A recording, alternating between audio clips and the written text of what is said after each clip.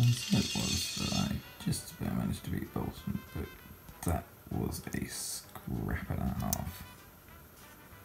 Just utterly mad.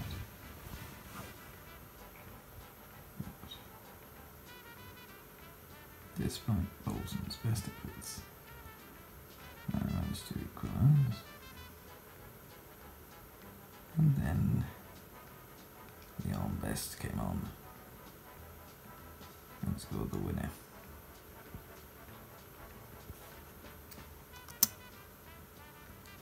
Chelsea managed to beat Sunderland. So yes, not bad at all. I'm not sure who I've got next. But, ooh, group stage.